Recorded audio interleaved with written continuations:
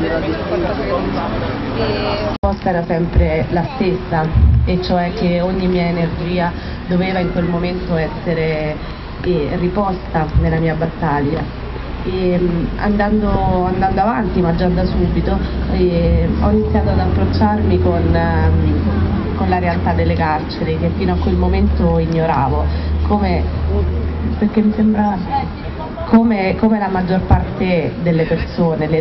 sono, le, le, carceri sono realtà volutamente lasciate fuori eh, dall'opinione pubblica eh, per motivi immagino ben ovvi. Eh,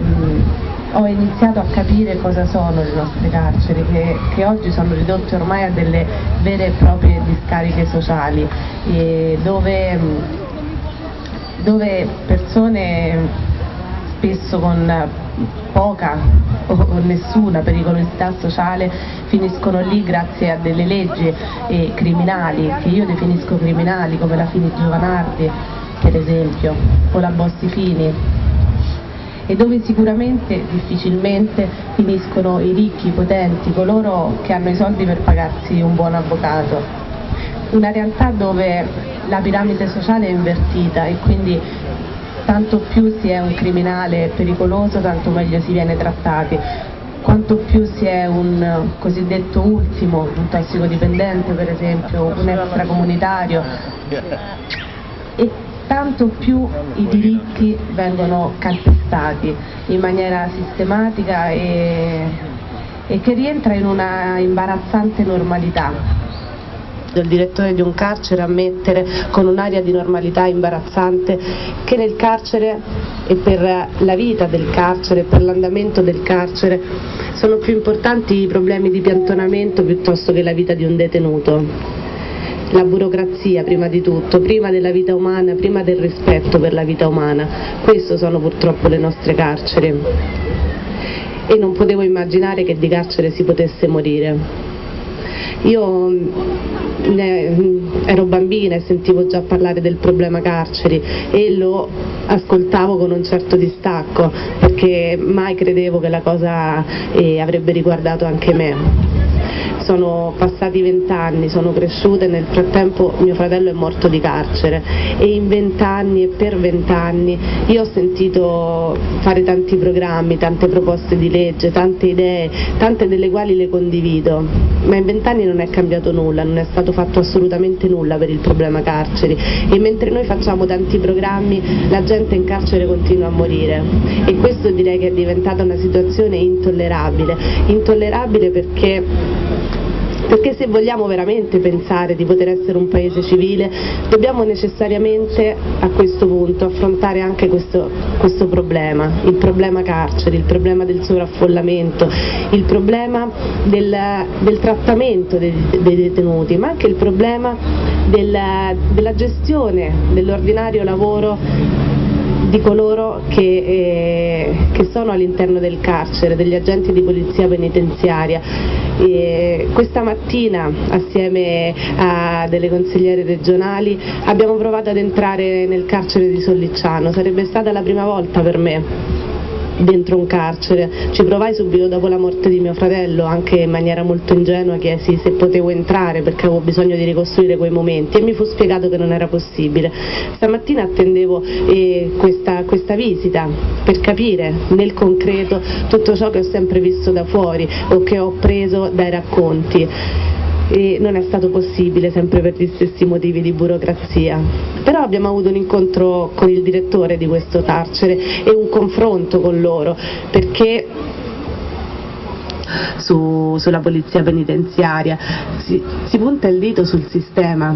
sul sistema che crea intanto tutto ciò che vi ho detto rispetto alla, all'ambiente carcere e al trattamento dei detenuti, sicuramente che crea questo problema di cultura, sicuramente che a causa del sovraffollamento da una parte e del sottodimensionamento degli agenti dall'altro, crea una difficoltà a gestire l'ordinario da parte loro e crea un, una difficoltà a gestire i singoli momenti per chi è detenuto. La logica è un periodo di tempo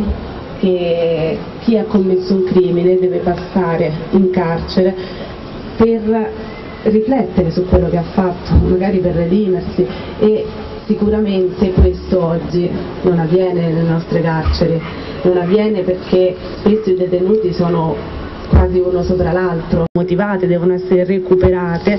poi però ci viene detto che cioè, non c'è abbastanza personale per gli spostamenti, un po' come è successo a mio fratello perché non c'era il personale per il piantonamento, per quattro ore è stato lasciato con la schiena rotta su una panca di ferro, senza che nessuno si ponesse il problema di capire cosa gli stava succedendo, si passavano piuttosto eh, gli ordini da una stanza all'altra, la burocrazia che rende tutto molto troppo disumano, eppure quelle però sono delle persone, non possiamo continuare a voltarci dall'altra parte e a far finta di niente niente, bisogna prendere delle decisioni nette, chiare e prenderle subito, bisogna trovare la volontà di intervenire e subito con delle, sicuramente eh, con l'abrogazione delle leggi che citavo prima, sicuramente con una proposta di amnistia per i reati minori, termine amnistia può far paura, io da mamma pensare che tutti i criminali eh, se ne escano e non è questo, ovviamente è un'amnistia ragionata che però consentirebbe a coloro che stanno lì senza reali motivi e non costituendo un pericolo per la società di continuare a sovraffollare le nostre carceri. Non si può sicuramente pensare di risolvere il problema carceri costruendo nuove strutture, non è questa la soluzione, ne parlavamo anche stamattina, perché sarebbero posti che andrebbero a riempirsi di nuovo se non cambiamo i meccanismi per cui la gente finisce lì.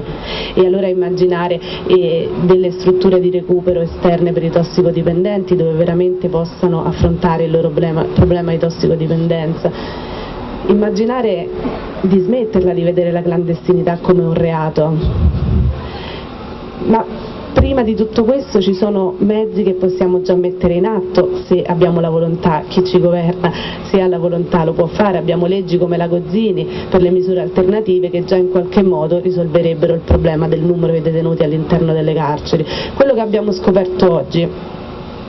è, è imbarazzante. Un, un, carcere che ha una capienza di 470 eh, posti ne contiene, eh, eh, ehm, ospita mille detenuti. Mille detenuti per, insomma, è veramente una cosa inaudita, possiamo immaginare come vivano i detenuti in quella realtà. Giustizia che è forte con i deboli e deboli con i forti. E, e, grazie a questo può succedere che le vittime del reato nelle aule di tribunale se non hanno la fortuna di incontrare pubblici ministeri coraggiosi come il nostro, coraggiosi di quelli che non fanno sconti a nessuno, onesti intellettualmente e fortunatamente ce ne sono tanti nel nostro paese, ma se non hanno questa fortuna può succedere che si trovino in quelle aule a doversi difendere da pubblici ministeri che lottano contro di loro, che lottano contro la verità, quando i processi sono processi contro i poteri forti. Miro, perché in questi giorni noi stiamo assistendo a dei veri e propri scandali, scandali, uno schiaffo al sacrificio che è stato chiesto a tutti noi cittadini italiani. Quelli sono i magistrati da ammirare, anche se da qualche parte cominciano ad arrivare le critiche dicendo che affossano l'economia del nostro paese. Vi rendete conto con che, con che metro vengono misurate le cose? È tutto assolutamente squilibrato. E allora ma esperienze che riguardano nelle loro varie sfaccettature tutti gli aspetti della quotidianità dei cittadini normali, e provando in qualche modo a restituire alla politica il suo antico senso, perché questo lo abbiamo perso. Dobbiamo imparare e tornare a mettere l'uomo al centro di tutto. È da qui che dobbiamo partire, perché oggi sentiamo parlare di tutto fuorché di questo. E allora questa sarà la mia battaglia e se mi sarà consentito di, eh, di arrivare in Parlamento porterò avanti tutto questo, porterò avanti eh, sicuramente e da subito una proposta di legge per il reato di tortura perché mh, è grave, gravissimo che l'Italia ancora non l'abbia, eh, non l'abbia introdotto. Abbiamo ricevuto pressioni, solleciti, ma in Italia si preferisce prendere le sanzioni e continuare a ripetere che da noi il reato di tortura non serve non è che noi siamo meglio degli altri. Il reato di tortura serve, assistiamo purtroppo spesso a, a, reato di tortura, ad atti di tortura. Vi chiedo per ovvi motivi di tempo di fare delle domande abbastanza brevi, ok? Per dare la possibilità a più persone di... Eh, volevo chiedere una cosa, molto interessante il ragionamento. E, mm, seguendo la politica negli ultimi giorni e negli ultimi tempi c'è sempre il dilemma, è meglio Berlusconi a comandare e magari un partito piccolo, un Parlamento, o, se, o meglio una sinistra classica, diciamo, maggioritaria, che garantisca, che garantisca un minimo, perlomeno un minimo di, di legalità. Berlusconi ha detto chiaramente in questi giorni che nei paesi sottosviluppati, insomma, in pratica è facile e anche scontato che ci siano le mazzette e ci sia la corruzione, cioè se si pensa all'Italia noi siamo veramente sottosviluppati.